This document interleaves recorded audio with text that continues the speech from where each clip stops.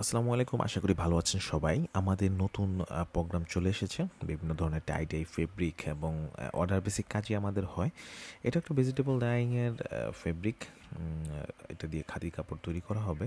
তো যারা এই ধরনের কাপড় নিতে চান, এটা হচ্ছে রেমি কটন ফেব্রিক তো যারা এই ধরনের কাপড় নিতে চান, তারা কিন্তু সরাসরি আমাদের সাথে যোগাযোগ করতে পারেন, কারণ স্টক অ্যাভেলেবেল আছে। আর অর্ডার বেসিক কাজ যেহেতু করা হয়, আপনার চাহিদা অনুযায়ী কিন্তু যেই কোনো ধরনের কাপড় আমাদের কাছ থেকে আপনি পেয়ে যাবেন।